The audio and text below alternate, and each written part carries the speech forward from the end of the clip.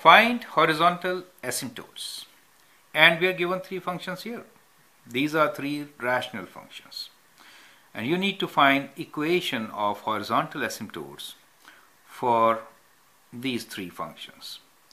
The method which I am going to discuss today will actually help you to find equation for horizontal asymptote for any equation in general. So that's the beauty of this method and I hope you really appreciate it. Now a few things to consider.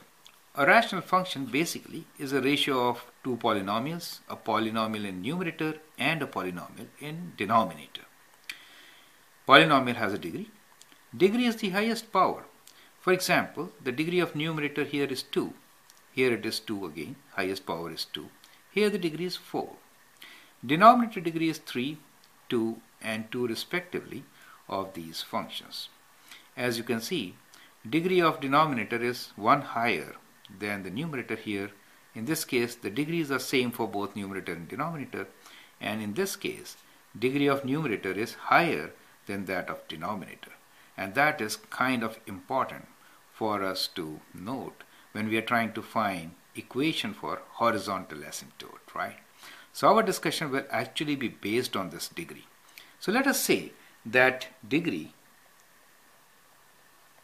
be n for numerator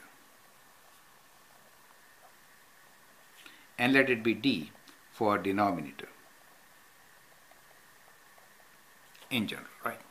So let that be the degree. So now what is the degree of numerator here? So we say n here is actually 2 and d here, denominator degree is 3 here, right? In this case, degree of numerator is 2 and that of denominator is also 2. In this case, numerator degree is 4 and degree of denominator is 2, right? So these are the degrees. As you see here in this case, n actually is less than d, right? In this case, n is equals to d and in this case, n numerator degree is higher than the denominator degree. So these are three different cases, right? Only three cases are possible, correct? And it doesn't really matter by how much the degree is higher or lower, right? You will appreciate when we discuss the method. Now, let's see what is a horizontal asymptote. Say horizontal asymptote is behavior of curve when x approaches positive or negative infinity. So basically, horizontal asymptote is if I say x approaches minus infinity, then what happens to y? Does it approach a value? If it approaches a value, let us say it approaches a value a. In that case, I have a horizontal asymptote and my horizontal asymptote will be y equals to a. That is how it is defined.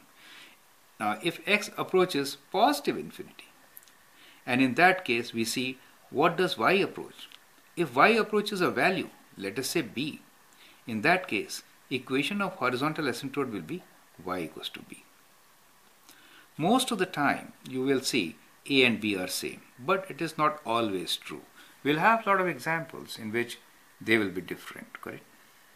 If horizontal asymptote exists. There are cases when one side horizontal asymptote may exist, but still it is a horizontal asymptote, right? Now, we will actually see behavior of these curves as x approaches plus or minus infinity and then find whether the function approaches a value or not.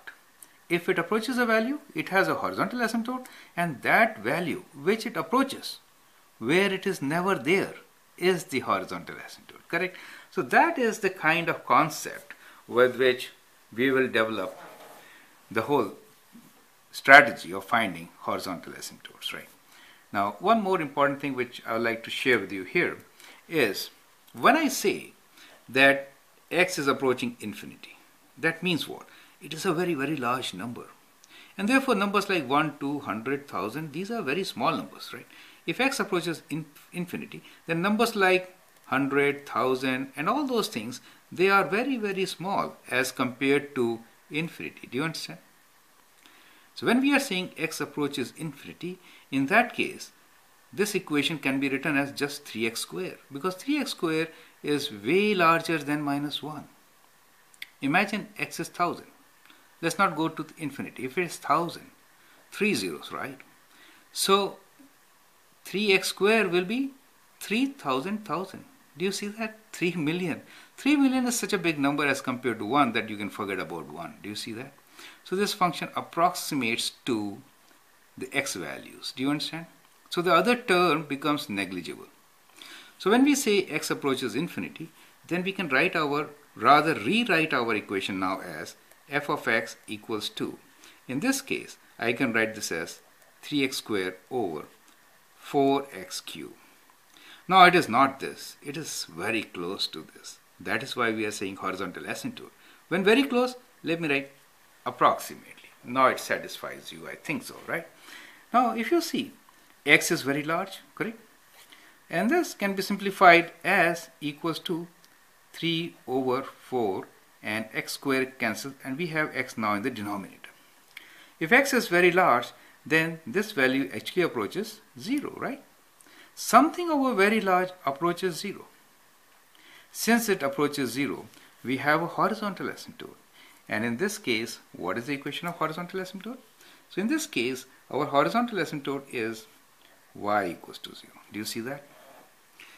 As x approaches negative infinity or positive infinity in this case, your function approaches 0. Anything divided by a large number will be 0. Therefore, horizontal asymptote is y equals to 0. Right? In general, if the degree of denominator is higher, if it is higher, it doesn't really depend on these numbers, right? If this is higher, you're approaching 0 and horizontal asymptote is 0. So, in general, we can always write that if numerator degree is lower than denominator, in that case, I have a horizontal asymptote and equation will be y equals to 0 always. Correct. So as soon as you see the degree, you can write down your answer and the answer is, you know, y equals to 0. Now let's consider this. In this function, as x approaches positive or negative infinity, a large number, then these numbers are small. And I can therefore write f of x equals to 3 over x square over minus over 4x squared. Do you see the minus 4x squared? It is important to consider minus here, right? Now, x square x square cancels and we get, this is approximate, right? We get approximately 3 over minus 4. You see, the function is approaching 3 over minus 4. Now it is approaching minus 3 over 4, correct? Therefore, we have a horizontal asymptote here. And the equation is y equals to minus 3 over 4. Do you see that? That is how we get equation of horizontal asymptote. You can see it is ratio of leading coefficients. So in this case, we have a horizontal asymptote where y is 3 over minus 4, right? So we can write this, I will write 3 over minus 4 in this case as minus here, but you can see it is ratio of leading coefficients. Right? Now if I change this equation, let me write this equation here. I'm using this space uh, for this particular equation. If I write a general equation that fx equals to, let us say, px square minus 1 or let it be 100. How does it matter? Or and I write q x square plus 10 for example. Then what is my horizontal asymptote in this case? It will be p over q. Since x square terms are far bigger than these and the ratios of coefficients becomes horizontal asymptote when degree of numerator and denominator is same. So that is my general statement and this is for example 2. Correct? So whenever in a rational function degree of numerator and denominator is same, horizontal asymptote equation is ratio of leading coefficients. Now last case which is degree of numerator higher. Now in this case my f of x approaches what? It approaches approximately 3x to the power of 4 over x square correct? Now this could be written as 3x square because x to the power 4 cancels. Now if x is large, this is also large, correct? Now if x approaches infinity, then f of x also approaches infinity, a large number. So in this particular case, we are not approaching a defined value.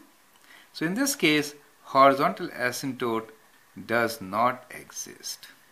So if the degree of numerator is higher, horizontal asymptote does not exist. Correct? So we have come to the conclusion that if the degrees are if the degree of numerator is lesser then horizontal asymptote is y equals to 0.